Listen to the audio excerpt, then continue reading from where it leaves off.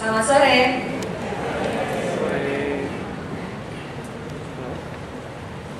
Maaf kami bawa sedikit contekan di sini ya.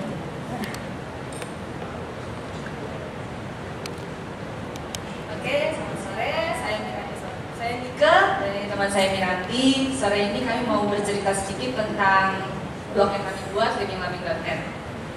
Awalnya livingloving.net ini kami buat karena kami kesulitan untuk mencari blog atau situs lokal yang merekomendasikan produk-produk lokal kreatif khususnya home decor. Nah, kebetulan pada tahun 2012 setelah yang lalu kami baru memutuskan berhenti dari pekerjaan kantoran kami dan bekerja di rumah. Dan kami merasa ini jadi waktu yang tepat buat kami untuk membuat logo sama. Karena dari segi waktu kami sudah lebih fleksibel dan kami percaya blogging bisa mewujudkan passion kami dalam bidang kreatif.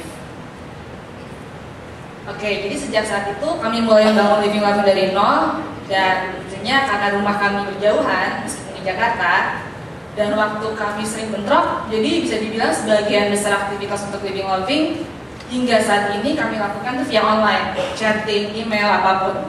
Jadi kalau teman-teman nih punya plan, project sama teman-temannya dan belum kejadian karena lokasi atau waktu, nah mendingan gunakan teknologi internet semaksimal mungkin karena menurut pengalaman kami itu sangat efektif dan efisien banget.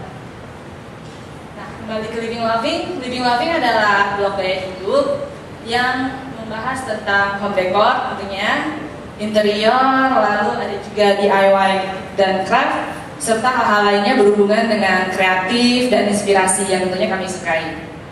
Dan kami nggak cuma menampilkannya dalam bentuk caption foto saja, tapi beberapa kali kami juga menampilkannya dalam bentuk video yang ya kami coba kemas dalam bentuk yang semenarik mungkin.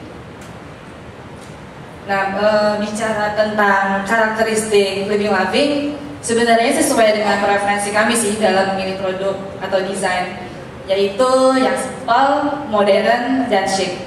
Jadi kalau teman-teman mampir ke living loving, ya teman-teman akan lihat kalau tampilan blog kami dan bahasan-bahasan yang kami berikan rata-rata memiliki tiga karakter tersebut. Dan bicara soal produk, sebagian besar produk yang kami bahas di Living Loving itu lokal. Karena memang selain itu alasan kami membuat blog, ya itu juga menjadi bagian dari misi Living Loving yaitu untuk mengembangkan, ikut membantu lah mengembangkan dunia kreatif lokal Indonesia. Dan karena kami juga melihat banyak sekali ya produk-produk lokal kreatif sekarang yang gak cuma punya kualitas yang baik tapi juga desain yang bagus. Misalnya Mata Timur ada ya Lina juga ada Kaduna Keramik dari Bandung. Dan ya kalau mau gampang sih tinggal ke bawah ke Brand Sport Market ada Canvas Living ada Loom. Yang mereka adalah beberapa produk desain Indonesia yang menurut kami gak cuma punya kualitas yang baik tapi juga punya desain yang bagus dan modern. Dan Bright Spot Market ini menurut kami juga menjadi apa ya menjadi petunjuk kalau homemade business di Indonesia itu memang lagi berkembang sekali dan dengan Living Love ini kami berharap ya dengan cerita-cerita yang kami tampilkan bisa menginspirasi teman-teman buat mengapresiasi produk lokal Indonesia dan syukur-syukur mungkin bisa menginspirasi teman-teman untuk membuat usaha kreatif sendiri. Untuk mengenai apa itu Living Loving secara detail dan apa yang sudah kami lakukan akan kita sampaikan.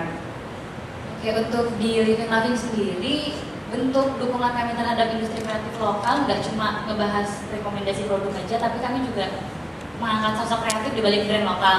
Uh, ini adalah sosok kreatif di balik uh, brand The Baby Birds, kalau misalnya ada yang tahu, mereka yang entrepreneur dari Bandung Lalu ini adalah Milo Wayan Ayu, uh, dia kreator Oja Mantra yang membuat clutch dari bahannya kantong kresek.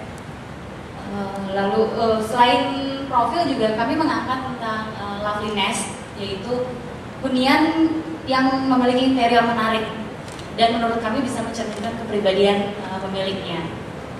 Diharapkan bisa menginspirasi pembaca juga untuk uh, ya mungkin untuk uh, dekor rumah atau nggak cuma rumah sih ya sebenarnya kamar kos juga bisa atau hanya salah satu sudut di rumah atau kontrakan nggak usah rumah sendiri juga bisa Selain itu, kami juga memberikan rekomendasi toko atau kafe atau uh, tempat menarik lainnya. Yang pernah masuk salah satu ya, beberapa di antaranya adalah Jewel Rockies Minyak Bali, pabrik tegel kunci di Yogyakarta, lalu ada uh, yang di kanan atas itu rumah peristirahatan di Pulau Manuk di Bayah Jawa Barat. Uh, bagi kami, kami percaya kekuatan kolaborasi dan kami senang sekali bisa berkolaborasi dengan teman-teman uh, selama 10 bulan terakhir ini. Karena bagi kami uh, kita mungkin kami bisa melakukannya sendiri tapi uh, we can be better if we work together with our leaders and partners.